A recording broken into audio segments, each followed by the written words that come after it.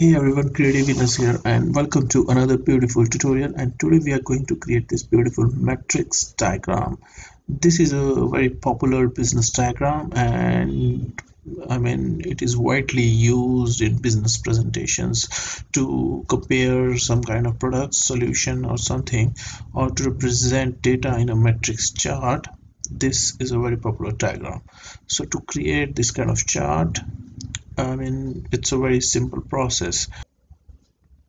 To create this diagram we will create like nine rounded square shapes and we will arrange these squares in 3 by 3 matrix.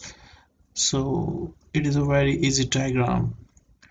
For I mean to make them more appealing we will apply the shadow effect but we will change the default shadow color from black to something blue. It gives a really nice effect of some kind of background light uh, that is behind these squares these rounded squares. So let's insert this small triangle and flip it vertically and place it like at the center of this square and remove its outline. We will duplicate it again and place it here. And we will again duplicate it and place it here.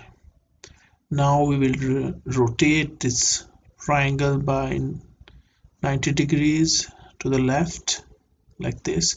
And we will place it like this on all these squares. Now we will subtract this triangle from the squares and we will repeat the same process in all these five squares. So we have removed this portion of triangle from all, all these squares. Now this is what we have. Let's insert this rounded rectangle and we will place it here. Now we are creating a shape which will be used for the heading for these columns. So we we have removed the outline and let's send it to back and apply I mean duplicate it and place it behind the rounded rectangles rounded squares. Once done we will fill beautiful gradient colors and here you can search gradients online and fill any color you want. Make sure there is some symmetry between the colors. Colors should be complementary and match each other. And to understand more about colors you should definitely search for color theories.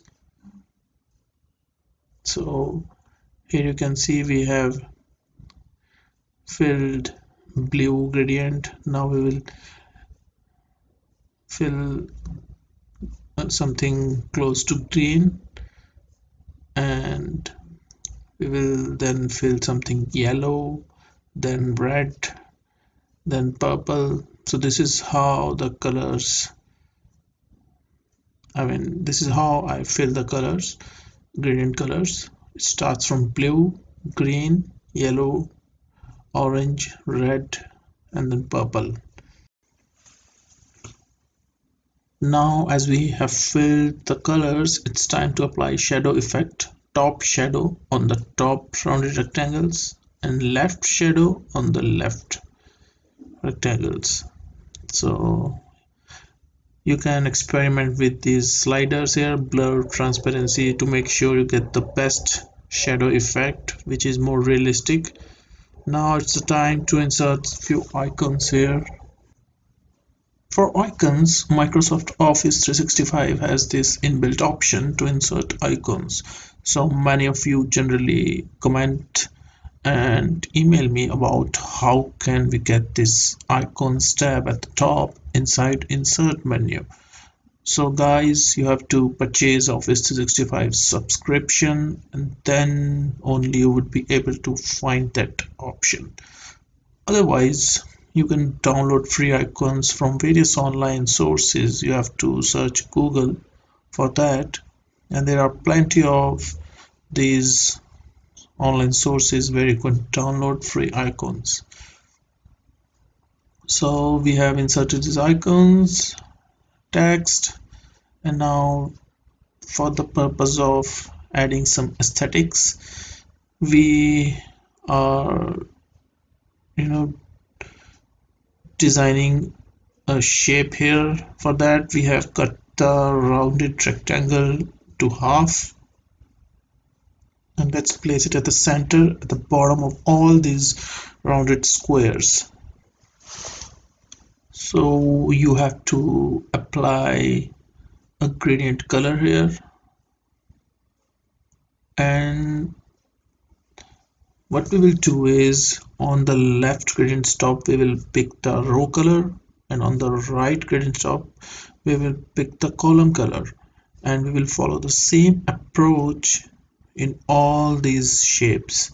So let's duplicate it and place it throughout these rounded squares. And once placed we will change their gradient colors as per the technique that I have already told you on the left we will fill the row color and on the right we will fill the column color. So here I am demonstrating how you have to do that. So the green is on the left. It's on the first row. You can see it's a green row. And then we are filling the column color on the second gradient stop here